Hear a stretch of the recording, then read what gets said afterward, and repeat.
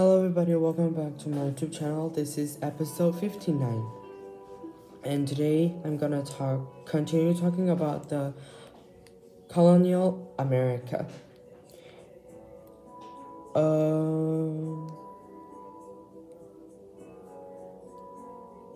the Mr. and by using hundreds of change the world by using hundreds of tiny movable metal metal blocks with a single letter carved on each. He could assemble a page of letters in a frame and print copies of that page.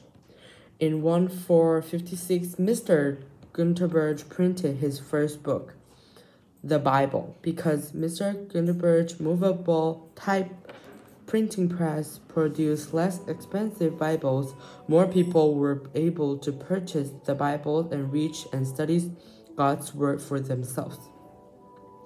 Jonathan Gutenberg's invention also made the skill of reading and writing available to the common person. Since printed books were less expensive and than hand-lettered manuscripts, more people were able to buy books and learn to read. As more books became available, edu- education expanded.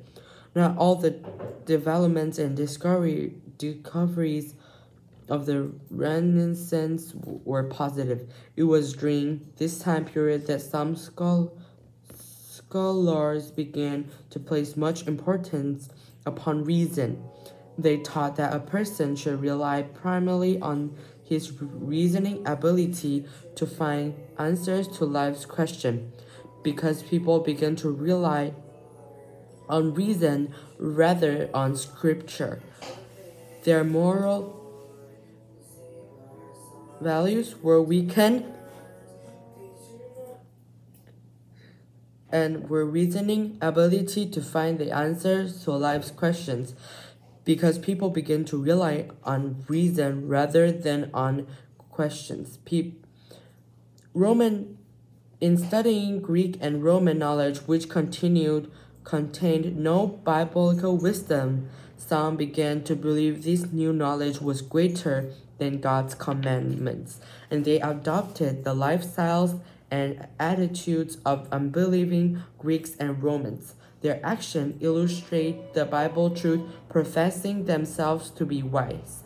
They became fools who changed the truth of God into a lie and worship and served the creature more than the creator.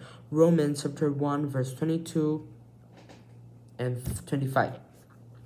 This thinking affected the Roman Catholic Church, and some Roman Catholic leaders openly approved wasteful and morally impure lifestyles. The moral weakness of the Renaissance provided a fertile, fertile ground for the Reformation. Now, let's talk about the Reformation. During the 150s, certain Christian leaders attempt to restore a biblical lifestyle and to stress in eternal principles. These men, called reformers, were sincere Christians who had grown unhappy with many Roman Catholic teaching and practices.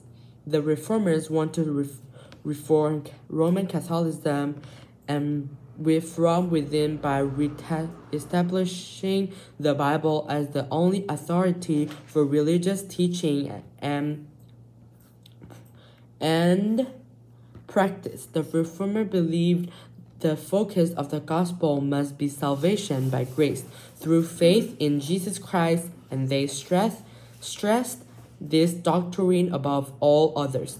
Of the of many of the many reformers Two were important to development of North American culture, Martin Luther and John Calvin.